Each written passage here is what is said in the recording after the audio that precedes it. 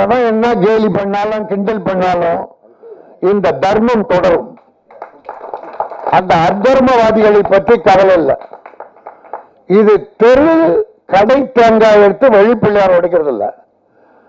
நான் கடன் பத்தாயிரம் அப்படியே கொடுத்தேன். ஏன்னா திருப்பி அவங்கள்ட்ட வந்து நான் வாங்க போறது இல்ல.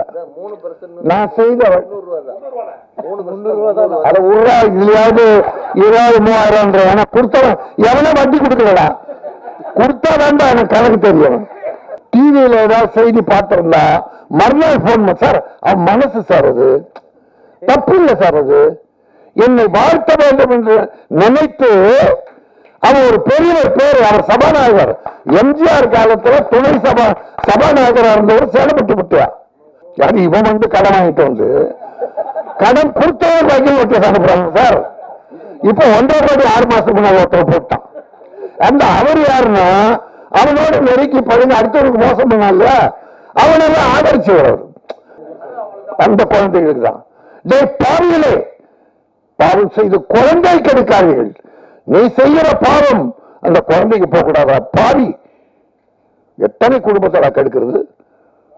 ஒரு அஜித் விஜய் சீன்ல வந்தா எப்படி மக்கள் கைத்தட்டி வரவேற்றார்களோ அந்த வரவேற்பை இந்த பிரித்தி பிரகலாதருக்கு தர்றோம் சார். படம் நல்லா இருக்கு கதை நல்லா இருக்குன்னு நம்ம தமிழ் மக்கள் பெரிய வரவேற்க தயாராக இருக்கிறார்கள். ஆகவே இனி நூறு கோடி யார்கிட்டும் கொட்டாதீங்க. மொத்தமா கே ராஜன் சொல்ல போறாங்க. அது எதுக்கு? அருமை தம்பி வெடிமுத்து என்னுடைய உடன்பிறவா தம்பி. அவனுடைய மேடை இது. அந்த மேடையை உரிமையோடு எடுத்துக்கொண்டு நான் ஒவ்வொரு ஆடியோ ஃபங்க்ஷன் கலந்துக்கிட்டாலும் அதில் அந்த தயாரிப்பாளர் எனக்கு அஞ்சாயிரம் ரூபா கொடுக்குறாங்க. ஏன் கொடுக்குறாங்கன்னா அந்த நான் பேசுகிறத வச்சு யூடியூப்பில் ஏதோ நிறைய லட்சம் பேர் கேட்குறாங்க அது ஒரு விளம்பரம் வருதுன்றதுக்காக கொடுக்குறாங்க. அப்படி கொடுக்குற பணத்தை அவங்க மூலமாகவே அஞ்சு ஏழைங்களை கூப்பிட்டு ஆளுக்கு ஆயிரம் ரூபா அந்த மேடையில் அந்த ப்ரொடியூசர் கையில கொடுக்குறாங்க அங்கேயே கொடுத்துறது இப்போ என் தம்பி எவ்வளோ கொடுக்க போறான்னு தெரியல. எவ்வளோ கொடுக்க போறேன் அவன்கிட்ட நான் கேட்டேன்னா அது தர்மமே இல்லை. ஏன்னா இது என் படம். நான் அவன்கிட்ட வாங்கி யாருக்கோ கொடுக்கறத விட நான் கொடுக்கறதா நல்லது. அதனால இந்த மேடையில் அந்த ப்ரொடியூசர் எனக்கு கொடுக்கறதுனால அந்த தர்மத்தை நான் விட மாட்டேன். அதனால என்னுடைய ஐந்து ரூபாயை நான் அந்த சகோதரரை மேடைக்கு அழைக்க விரும்பவில்லை. அது நியாயமில்லை. நானே கீழறங்கி அந்த சகோதரனுக்கு கொடுக்க போறேன். ஏன்னா அவர் வந்து விஜயகாந்த்ல இருந்து சரத்குமார்ல இருந்து பெரிய பெரிய நடிகரோட உயிர் நண்பரா உற்ற தோண துணையரா இருந்த ஒரு மானமுள்ள ஒரு தமிழ் பத்திரிகையாளர். எந்த காரணமும் தரம் குறைய மாட்டார். பட்டினியா கிடப்பாரே தவிர பட் தரம் குறைந்து எழுத மாட்டார் பேச மாட்டார். யார் வாழ்க்கையில் உள்ள புகுந்து குறைபட்டு எழுதி கிடையாது. அப்படி ஒரு பொழப்ப அவர் வாழ்ந்ததே இல்லை. அதனால்தான் தான் கொஞ்சம் கஷ்டப்படுறாரு. ஆனாலும் அது கஷ்டம் இல்லை அந்த சகோதர வாழ்க்கை மிகச்சிறந்த முறையில் இருக்கும். உங்க அனுமதியோட நான் கீரை இறங்கி இந்த அஞ்சு ரூபாய் செக் அவருக்கு கொடுத்துட்றேன். அவர் நாளைக்கு போட்டு எடுத்துடலாம். எவன் என்ன கேலி பண்ணாலும் கிண்டல் பண்ணாலும் இந்த தர்மம் தொடரும். அந்த அத்தர்மவாதிகளை பற்றி கவலை இல்லை. இது தெரு கடை தேங்காய் எடுத்து வழிப்பிள்ளையார் உடைக்கிறது இல்ல. அந்த கடைக்காரனே கூப்பிட்டு நல்லது பண்ணதால ஐயா இந்த தேங்காய் வச்சுக்கன்னு கொடுக்கும்போது அந்த தேங்காவை நான் பிள்ளையாருக்கு உடைச்சு அப்படியே சிவராம கையில வச்சு ரெண்டு ஏழைகளை வீட்டுல போய் சமைச்சிங்கன்றேன். ஆனா சொல்றவன் என்ன பண்றான்? இந்த கடை தேங்காய் திருடி கொண்டு போய் வீட்டில் வச்சு சமைச்சு சாப்பிட்றான். அவன் சொல்றவன். செய்யறவன் தர்மம் பண்றவன். அதனால அதை பத்தி எல்லாம் கவலை இல்லை. யாரோ ஒருத்தன் அப்படி பேசுனாங்கன்னா இடக்க முடக்க அவங்க போவ அருமை பெரியவர்களே வாழ்த்த வந்திருக்கிற நல்லவர்களே வாழ்த்தி கொண்டிருக்கிற வல்லவர்களே இது என் படம். ஆராய்ச்சி என் படம். வெடிமுத்து என் தம்பி. அவனால் யாருக்கும் லாபம் கிடையாது. வெடிமுத்துவால் யாருக்குமே லாபம் கிடையாது. ஆனால் யாருக்குமே நஷ்டம் கிடையாது. எந்த குடும்பத்தையும் கெட்டது கிடையாது. முடிஞ்சா உதவி பண்ணுவான். அவன் செய்யற சேவை என்ன தெரியுமா? நாலு நண்பர்கள்ட்ட போய் உட்கார வச்சு சிரிச்சு பேச வைக்கிறான் பாருங்க. அது மிகப்பெரிய சேவை. அவன் எங்க போய் உட்கார்ந்தாலும் அந்த பர்சனல் நிமிஷம் நீங்க சிரிச்சுக்கிட்டு இருக்கலாம். வெகுளி வெள்ளை மனது உள்ளத்துல ஒண்ணுமே இல்லை. இப்ப என்கிட்ட வந்து பேசிட்டு இருந்தா அடுத்த முதல்ல அவன் அவன் ஃபாலோ பண்ற இப்ப சொல்லிட்டான் அதை நான் சொல்ல நினைச்சேன். வணக்கம் மகிழ்ச்சி வாழ்க. வாழ்க வளமுடன் சொல்றாங்க இல்லையா? சந்தோஷம். இது வந்து உள்ளத்துல இருந்து அவன் வெளிப்படுது ஆக உள்ளம் தூய்மையானது. ஒரு தடவை அவன் என் வீட்டுக்கு வந்தான். ஏன்னா நான் அவன் சொன்னா என் உள்ளத்தில் அதிகமாக இடம் பெற்றுத்தாங்கன்னு அர்த்தம். நான் அவருன்னு சொன்னா அவன் டிஸ்டன்ஸ்ல வச்சிருக்கேன்னு அர்த்தம். பாசம் உள்ளவங்களை தான் நான் யாரும் முரளியா நீ உதவாங்குவ நீ. நம்ம முரளி ஒரு விழா நடத்தினால கலகலன்னு இருக்கும். நல்ல சந்தோஷமா இருக்கு அப்படிதான் இருக்கணும். ஒரு தடவை என் வீட்டுக்கு வந்தான். காலைல ஏழு மணி இருக்கும். பார்த்தா வெடிமுத்து. அந்த அந்த கதர். அந்த கதர் செட்டா கதை வெட்டி.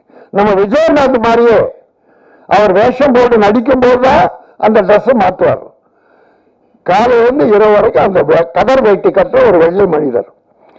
அது போல இவனும் இதேதான் மாற்றுறதே கிடையாது. ஒரு வந்தான். என்னப்பா திடீர்னு வீட்டுக்கு வந்திருக்க? ஒன்றும் இல்லைண்ணே. தாலாட்டு என்ன படம் பாது? எண்ணெய் தாலாட்டுன்னு என்ன கொஞ்ச நேரம் தாலாட்டினான். அப்புறம் என்ன இல்லைண்ணே ஒரு பத்து ரூபா வேணும். டப்பிங் வச்சிருக்கேன். பத்தாயிரம் ரூபா. அந்த காலத்துல தாலாட்டு எடுக்கும்போது ஒரு பத்தாயிரம் ரூபா ஏதோ ஒரு உதவிக்கு தேவைப்பட்டிருக்கு. இப்ப அதுதான் பத்து லட்சமோ பத்து கோடியோ. நான் சொன்னேன் நம்பி வந்துட்டேன் கடன் கேட்டது கடன் தான். ஆனால் நான் பத்து ரூபா எடுத்துட்டு வந்து அவன்கிட்ட கொடுத்தேன். இன்ன வரையும் தரல சார் அவன் ஏன்னா நான் கடன் கொடுக்கல அவனுக்கு. நான் கடனா கொடுத்தாதான் நான் திருப்பி கேட்க. கடனா கொடுத்திருந்தா அது மூணு பர்சன்ட் வட்டினா கூட மூவாயிரம் ரூபாய் பிடிச்சிட்டு தானே கொடுக்கணும். நான் கடன் பத்தாயிரம் ரூபாய் அப்படியே கொடுத்தேன். ஏன்னா திருப்பி அவங்ககிட்ட வந்து நான் வாங்க போறது இல்ல அதான் மூணு பர்சன்ட் நான் செய்த முந்நூறு ரூபா தான். மூணு முந்நூறு ரூபா தான். அட உருவா இதுலயாவது இருபது மூவாயிரம் கொடுத்தவன் எவனோ வட்டி கொடுக்கலடா. கொடுத்தா வேண்டாம் எனக்கு கணக்கு தெரியும். வாங்கின ஒருத்தனே கொடுக்கலடா உயரமா டெல்லி அரும்பு மாதிரி வளர்ந்துருக்கானுங்க. டெல்லி அரும்பு மாதிரி வளர்ந்துருக்கானுங்க. வர்றவங்க சோப் போடுறான் காலில் உட்காடுறான் ஏறக்குறை எழுபத்தெட்டு கோடி ஆயிரம் லட்சம் வாங்கிட்டான். இப்போ போன் எடுக்கிறது இல்லை போலீஸ் தேடிட்டு இருக்கு. அப்படிலாம் இருக்காங்க. ஆனா எங்க வெடிமுத்து அப்படி கிடையாது. எந்த குடும்பத்தையும் அவன் கெடுக்கலையே கேட்கிறான் உதவி கேட்பான் கொடுத்தா முடிஞ்சு திருப்பி கொடுப்பான் இல்ல இல்ல அது நல்லது. ஆக ஒரு ஒரு தர்ம சிந்தனை வேண்டும். தர்மம் என்பது எது? அடுத்தவனுக்கு நீங்க அள்ளி கொடுக்கணும்ன்றது இல்ல அடுத்தவன் நல்லா வாழணும்னு நினைக்கிறவங்க பாருங்க அதுவே பெரிய தர்மம். மனதால் நினைத்தால் போதும். எவன் குடும்பத்தையும் கெடுக்கூடாது நம்மால் யாருக்கும் ஒரு அணு தொல்லையும் வரக்கூடாது. முடிஞ்சா உதவி பண்ணுங்க. இல்லைன்னா தப்பு இல்லை ஆகவே இந்த படம் ஆராய்ச்சி என் தம்பி வெடிமுத்து சிறப்பா சொல்ல சிந்தனையாளன் எனக்கு சார் அவன் என்ன பண்ணுவான்? திடீர்னு போன் பண்ணுவான் மதுரையில இருந்து. அண்ணே பத்திரிகை தொண்ணூத்தஞ்சு படிச்சேன்னு உங்க அறிக்கை. உங்க எங்க சேலப்பட்டு முத்தா படிச்சாருன்னு. படிச்ச எடுத்துட்டு உங்க ஆள் என்ன? பிரம்மாண்டமா பேசியிருக்காரு. அது ஆனா சத்தியமா சொல்லியே இருக்க மாட்டாரு. சேடப்பட்டு முட்டையா இன்னைக்கு எனக்கு அவரை தெரியவே தெரியாது. ஆனா வெடிமுத்து என்ன பண்ணுவான் இதை வந்து அவருக்கு ஒரு முப்பது முறை சொல்லியிருக்கான். டிவியில ஏதாவது செய்தி பார்த்திருந்தா மறுநாள் போன் சார் அவன் மனசு சார் அது. தப்பு இல்லை சார் அது. என்னை வாழ்த்த வேண்டும் என்று நினைத்து அவர் ஒரு பெரிய பேர் அவர் சபாநாயகர். எம்ஜிஆர் காலத்துல துணை சபா சபாநாயகராக இருந்தவர் சேலப்பட்டு விட்டார் இவனுக்கு நெருக்கமானவர் தான் ஏடிஎம்கே நல்ல பேச்சாளர். ஆனா என்னை வாழ்த்தது வெடிமுத்து வாழ்த்துறான்றதை விட சேலப்பட்டு முத்தா வாழ்த்தினாருன்னு பிரமாதம் அவங்க ஆள் பேசுறாருன்னா சத்தியமா அவர் வாழ்க்கை இருக்க மாட்டாரு. இவன் வாழ்த்து தான் அது. இல்ல ஒரு மனசு பாருங்க உருவம் சிறியதாக இருந்தாலும் உள்ளம் பெரியது. எப்படி வெள்ளாடு அணிகிறானோ அதே போல உள்ளமும் வெள்ளை. பல பேர் வெள்ளையாடு அணிந்து கொள்ள உள்ளே கருப்பாக இருப்பார்கள். உள்ளம் கருப்பாக இருக்கும். அவர் மனித இனமே இல்லை. கேவலத்தின் பிறவிகள். அடுத்தவன் குடும்பத்தை அழிக்கிறது. ஒரு பத்து நாள் நல்லா படைக்கிட்டு ஒரு பத்து லட்சம் ஐம்பது லட்சம் வாங்கிட்டு அடுத்து ஒரு நோட்டீஸ் அனுப்புறது. என்னை பணம் கேட்காது. அது இவன் வந்து கடன் வாங்கிட்டு வந்து கடன் கொடுத்தவர் கையில் நோட்டீஸ் அனுப்புறாங்க சார். இப்போ ஒன்றரை கோடி ஆறு மாசத்துக்கு முன்னாடி ஒருத்தர் போட்டான். அந்த அவர் யாருன்னா அவனோட நெருக்கி பழகி அடுத்தவனுக்கு மோசம் பண்ணால அவனெல்லாம் ஆதரிச்சவர் அப்படி ஆதரிச்சவர் இப்ப போட்டான் ஒன்றரை கோடி. அப்படி மக்கள் மனிதர்கள் அல்லவர் மிருகங்கள் தயவு செய்து பத்து காசு கூட அடுத்தவன் பணத்தை மோசடி செய்யாதீர்கள். கடவுள் பார்த்து கொண்டிருக்கிறான். பணம் சம்பாதிப்பது அத்தனையும் சொத்துக்கள் வாங்குவது யாருக்கு சார்? யாருக்கு சொல்லுச்சு இப்ப நம்ம ரொம்ப கஷ்டப்படுறோம். ஒரு சொத்து குடும்பத்துக்குள்ள குழந்தைகளுக்கு இருக்கு. நம்முடைய வாரிசுகளுக்கு நாம் செய்கிற பாவம் யாருக்கு? அந்த குழந்தைகளுக்கு தான். டேய் பாவிகளே பாவம் செய்து குழந்தை கெடுக்காதீர்கள் நீ செய்கிற பாவம் அந்த குழந்தைக்கு போகக்கூடாதா? பாவி. எத்தனை குடும்பத்தை கெடுக்கிறது அதனால எல்லாரும் பொதுவா சொல்றேன் அரசியல்வாதிகளை சொல்லுகிறேன். கலப்படம் செய்து அக்கறம் செய்தார்கள் அவர்களை சொல்லுகிறேன். அரசியல் ஏழை பணத்தை கொள்ளையடிக்கிறானே மந்திரியாக இருந்து கொண்டு அவனை சொல்லுகிறேன். எல்லா மனிதராக பிறந்து தவறுகள் இழைக்கிற அடுத்தவனை கெடுப்புகிறார்களே அவர்களை சொல்லுகிறேன். குறிப்பிட்டு யாரையும் சொல்லவில்லை. குறிப்பிட்டு யாராவது ஒருவன் நினைத்தால் அவன் அழிந்து போகட்டும். ஆராய்ச்சி அற்புதமான நிகழ்ச்சி. மகிழ்ச்சி. இந்த படம் வெற்றி பெற்றால் தமிழ் சினிமா வாழும். தமிழ் சினிமாவில் இன்னும் நூறு பேர் வருவார்கள். ஒரு புதிதாக ஒரு நடிகர் நூறு கோடி வாங்கி கொண்டு இந்த படம் நூறு நாள் ஓடியது முன்னூறு கோடி கலெக்ட் பண்ணுதுன்னா இந்த சினிமாவுக்கு லாபம் இல்லை. ஒரு லாபமும் இல்லை. ஆனால் லவ் டுடே ஒரு சிறிய படம் புதிய படம் எடுத்தான் அந்த படம் ஓடோ என்று ஓடுனா இப்ப புதுசா பல படம் ஓடுறோம் சார் தனுஷ் ஹீரோ ஆன பிறகு எத்தனை பேர் படம் எடுக்கிறாங்க தெரியுமா? நம்ம பிள்ளையெல்லாம் ஹீரோ ஆக்கணும். ஒல்லியா இருக்கிற பசங்களெல்லாம் ஹீரோ ஆக்கணும்னு நினைச்சு எத்தனை பில்டிங் கான்ட்ராக்டர் ரியல் எஸ்டேட் அதிபர்கள் கொண்டாந்தா அதை சம்பாதிச்சா கொண்டு வந்து விட்டா அது சினிமாவுக்கு நல்லதுன்னு வச்சுக்க என் தொழிலாளிகளுக்கு நல்லது. அதை லவ் டுடே இன்னைக்கு நிரூபித்து காட்டியிருக்கிறது. நல்ல படம் எடுங்கள். மக்கள் பார்க்க தயாராக இருக்கிறார்கள். பொன்னியின் செல்வனையும் பார்த்தார்கள் லவ் டுடேயும் பார்த்தார்கள். அது வரலாற்று சிறப்பு மிக்கது. அது சில குறைபாடுகள் அவங்க எடுத்தாங்க. இருந்தாலும் நல்ல படம். வசூல் கொட்டியது. ஆனால் ஒரு சிறிய படம் ஆறு கோடி விமர்சகர் எவ்வளவு இருக்கும் அவ்வளவுதான் இருக்க குறைவுதான். ஆறு கோடிக்கு மேல அது ஒண்ணும் செலவெல்லாம் இல்லை. எடுத்து இன்னைக்கு வந்து ஐம்பது கோடிக்கு மேல கலெக்ட் பண்ணதுன்னா எந்த ஹீரோ இருக்காரு அதுல? நூறு கோடி நூத்தி இருபத்தஞ்சு கோடி ஹீரோ இருக்காரா? ஒரு அஜித் விஜய் சீன்ல வந்தா எப்படி மக்கள் கைத்தட்டி வரவேற்றாரோ அந்த வரவேற்பு இந்த பிரித்தி பிரகலாதருக்கு தர்றோம் சார். படம் நல்லா இருக்கு கதை நல்லா இருக்குன்னு நம்ம தமிழ் மக்கள் பெரிய வரவேற்க தயாராக இருக்கிறார்கள். ஆகவே இனி நூறு கோடி யார்கிட்ட கொட்டாதீங்க. நூத்தி இருபத்தஞ்சு கோடிக்கு ஓடாதீங்க. தெலுங்குக்காரங்கிட்ட ஓடுறாங்க நூத்தி இருபத்தஞ்சு கோடின்னு. இன்னைக்கு நான் மூன்று வேண்டுகோள் மூணு பேருக்கு வேண்டும் மூணு பேர்ல ஆறு பேருக்கு வேண்டுகோள் வைக்கிறேன். நம்ம கவுன்சில் தலைவர் செயலாளர் என் தம்பி சேகர் இருக்கிற பெரியவங்க முன்னால கவிஞர் சொக்கோ எல்லாரும் முன்னாலேயும். சன் பிக்சர்ஸ் லைகா அகோரம் என்னுடைய அருமை சகோதரர் தானு என்னுடைய அன்பு தம்பி சத்யஜோ தியாகராஜன் என்னுடைய அன்பு மைத்துனன் ஐஸ்வரி கணேஷ் இன்னும் பல பேர் படம் எடுக்கிறாங்க இப்போ நீ இந்த பெரிய நடிகரை நோக்கி போகாதீர்கள். அவங்களுக்கு கொடுத்த அந்த நூறு கோடியில நீ பதினஞ்சு படம் எடுக்கலாம். பதினஞ்சு படம். ஆர் பி சௌத்ரி ஏறக்குறைய முப்பது நாற்பது டைரக்டரை உருவாக்கினவர். எல்லா படமும் ஒரு கே எஸ் ரவிக்குமார் ஒரு விக்ரம் ஒரு பல நடிகர்களை உட்கார உருவாக்குறவர். அதே போல இந்த நான் சொன்ன இந்த ஆறு பேருக்கும் அந்த சக்தி இருக்கிறது. உங்களுக்கு திறமை இருக்கிறது. இந்த அகோரம் நிரூபித்து காட்டி விட்டார் ஒரு பிரதீப் ரங்கநாதனை ஹீரோவாவும் கதையசன் டைரக்ஷன் போட்டு சக்சஸ் ஓஹோன்னு ஓடிவிட்டது. சார் நான் என்ன ஒரு பத்து எடுங்க. அஞ்சு கோடியில பத்து படம் எடுங்க மொத்தம் ஐம்பது கோடி தான். ஒரு அஞ்சு படம் சக்சஸ் ஆகாதா? அந்த அஞ்சு படம் ஒரு இருநூத்தி ஐம்பது கோடி கலெக்ட் பண்ணாதா? ஒரு நாலு பேர் சுமாரா போட்டோமே. ஒரு அஞ்சு புது டைரக்டர் அஞ்சு புது ஹீரோ தமிழ் ஹீரோக்கள் பிடிங்க சார் முதல்ல பிள்ளைங்க பாருங்க பிரமாதமா இருக்காங்க. தம்பிங்க பிரமாதமா இருக்காங்க. வரட்டுப்பா சார் நம்ம பிள்ளைங்க? நம்ம தமிழ் பிள்ளை நாளைக்கு உங்க தலைவனை ஏறிச்சுன்னா அது தலையில் கட்டலாம்.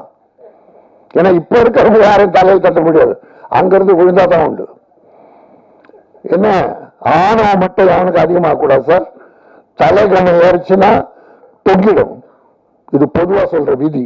ஆக இந்த படத்தில் இந்த இந்த லைக்கா இவங்கெல்லாம் தயவு செய்து வேண்டுகோளா வைக்கிறேன். இந்த செய்தி அவங்களுக்கு போய் சன் டிவி நினைச்சா ஒரு நூறு பேர் உருவாக்கலாம் சார். போய் இந்த இருநூறு கோடி முந்நூறு கோடி படம் எடுத்துட்டா சன் டிவி மாறணும். இதை ஒரு சின்ன சின்ன முதலீடு போட்டு புதுசா கொண்டாந்து சன் டிவி நாளைக்கு வரலாறு படைக்கணும். சன் டிவி இத்தனை இளைஞர்களை புதிய ஹீரோக்களை புதிய டைரக்டர்களை உருவாக்கினார்கள். அதுதான் வரலாறு.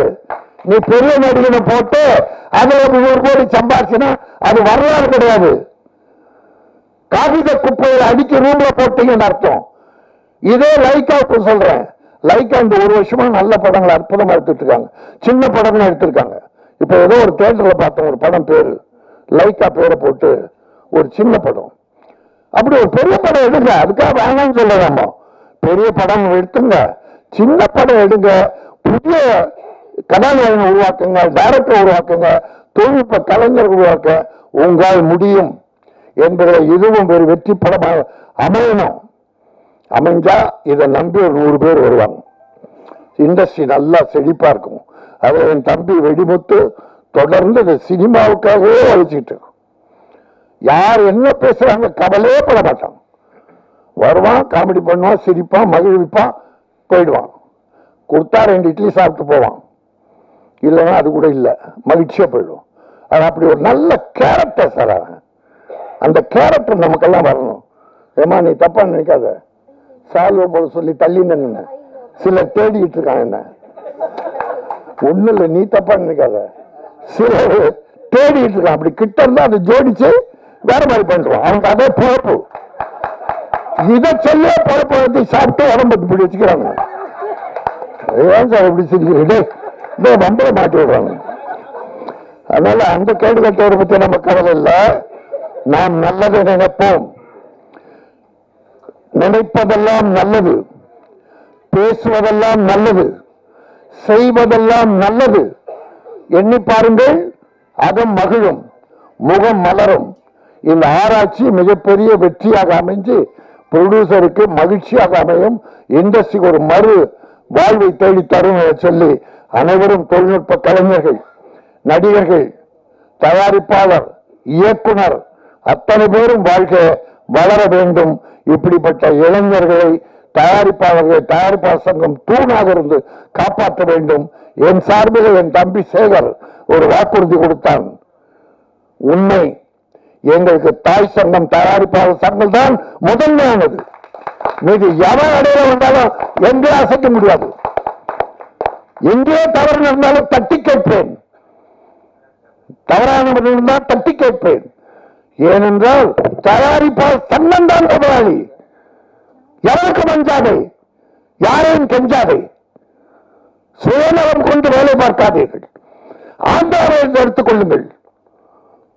அந்த ஹீரோக்கள் சார் ப்ரொடியூசருக்கு அவ்வளவு ஒத்துழைக்கிறான் சார் ஹீரோக்கள் ஆனா அங்கே நாற்பது நாள் ஸ்ட்ரைக் அறிவிச்சுட்டாங்க சார் ப்ரொடியூசர் கவுன்சில் நல்லா நடக்கிற ஆந்திர பிரதேசத்துல அங்கே ப்ரொடியூசர் கவுன்சில் நாற்பது ஸ்ட்ரைக் அறிவிச்சு பேட்டா கேட்காத. என் ப்ரொடியூசரை வாட்டி வளர்த்தாங்க அப்படின்னு ஒரு சில கண்டிஷன்ஸ் போட்டு அதை ஒத்துக்காத ஸ்ட்ரைக் பண்ணி பிறகு அந்த நடிகர்கள் எல்லாம் ஒத்து போய் எழுதி கொடுத்து ஷூட்டிங் நடக்குது சார். அந்த வல்லமை நமக்கு உண்டு. ஏன்னா நான் முதலாளிகள். நான் படம் போட்டு எடுக்கலன்னா உங்களுக்கு வேலை கிடையாது. பெரிய ஆளாரு சின்ன ஆளாரு ஐ டோன்ட் கேர் நான் மேலே கொடுக்கிற நீ கீழே வாங்குகிறாய். ஒரு எம்ஜிஆர் முதலாளி முதலாளி முதலாளி என்றாரு. எம்ஜிஆர் விட யாரா பெரியவங்க? நடிகர் தலம் சிவாஜி கணேசன் விட யாரா அந்த பெரியவன்? முதலாளி முதலாளி முதலாளின்னு இவங்க பணம் கொடுத்துருப்பாங்க சார். அவங்க எம்ஜிஆர் முதலாளி தான் சார். அன்னைக்கு சினிமா நல்லா இருந்தது சார். என்னைக்கு இந்த முதலாளிகள் பாஸ் நடிகனை சொல்ல ஆரம்பிச்சாலும் அன்னைக்கு செத்து சார். நன்றி வணக்கம்.